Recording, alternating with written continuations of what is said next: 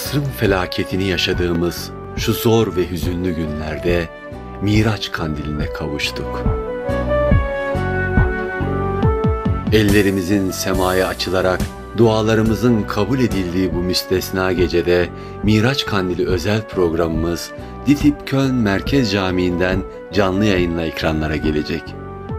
Alemlere rahmet olarak gönderilen Fahri Kainat Efendimiz Hazreti Muhammed Mustafa sallallahu aleyhi ve sellemin bize verdiği müjdelere nail olma ve onun ümmeti olmanın verdiği şerefle İslam aleminin Miraç kandili mübarek olsun. Miraç kandili özel Cuma akşamı Kanal Avrupa'da.